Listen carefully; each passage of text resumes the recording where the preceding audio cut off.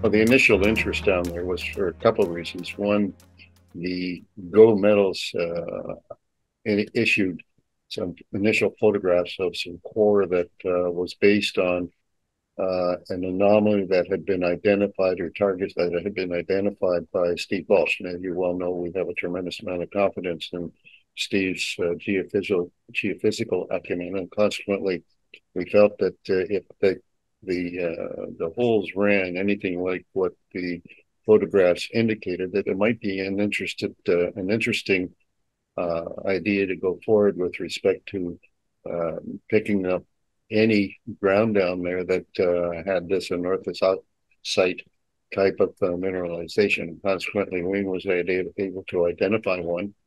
Uh, we've gone in and staked it. We've now gone in and flown it. Uh, there is road access because there are a couple of power dams that are on the north side of the, uh, or the, the northeast uh, end of the uh, property.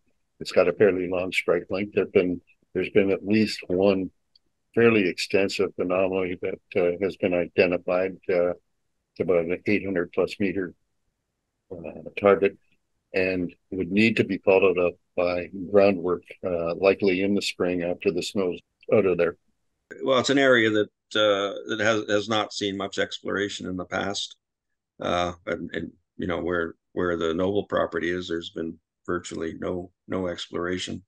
Um, we flew the airborne survey. Uh, in in Steve Balch's words, we we found exactly what we were looking for and exactly the place where it should be. Uh, so uh, um, it's uh, it's uh, we're we're looking forward to getting crews in there in in the uh, springtime to uh, to ground truth that anomaly uh, from the satellite photo. It appears there's outcrop there, so uh, um, I, am fairly confident that it it should be so, something related to to significant mineralization.